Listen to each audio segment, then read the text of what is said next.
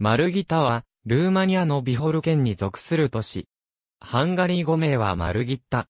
地名は、地元の守護聖人である聖、マルギトから派生した。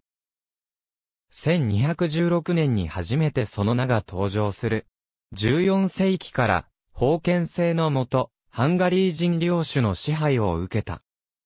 1376年に、ハンガリー王ラヨシュ一世から、市場の設立が認められ、商業の町として発展した。1467年から1514年にかけて、たびたび農民が反乱を起こした。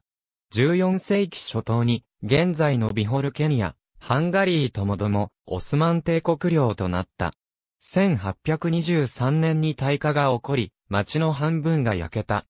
1848年革命後は、農民も奴隷同然となり、工業で発展した。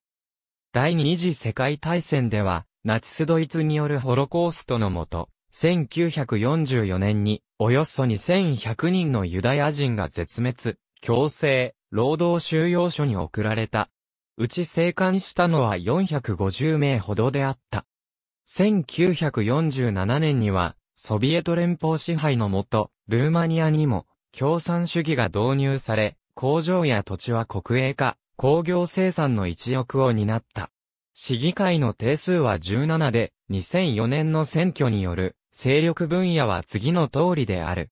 自治体としての人口は1万9000人で、このうち1万7000人がマルギタ市に、1200人がケト村に、800人がゲネチャ村に住む。